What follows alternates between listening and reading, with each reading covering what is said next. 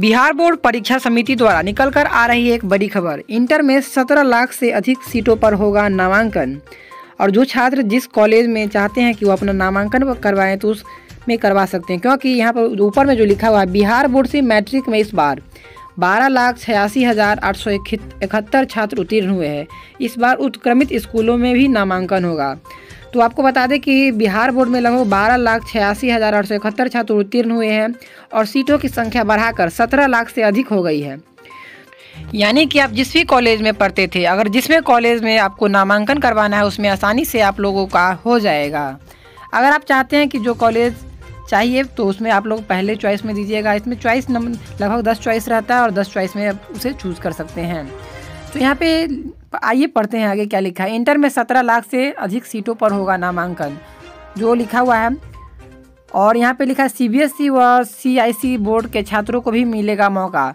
और जानते हैं कि किस किस ब्रांच में, यानी कि किस किस क्षेत्र में, आर्ट्स में कितना रहेगा, विज्ञान में कितना रहेगा, कॉमर्स में कितना रहेगा और कृषि में कितना सीटों की संख्या रहेगा।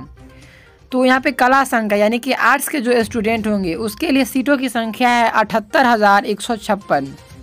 और विज्ञान के जो छात्र होंगे, उसके लिए बहत्तर हज़ार छः सौ चौवन सीटों की संख्या है, और वाणिज्य संकाय।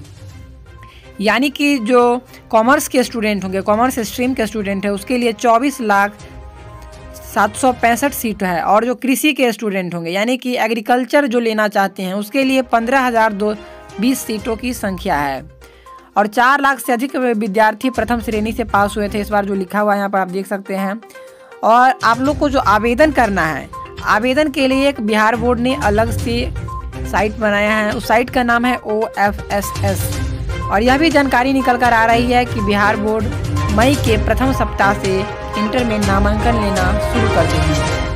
ऑनलाइन पोर्टल के द्वारा आप लोग पहले उसमें करिएगा।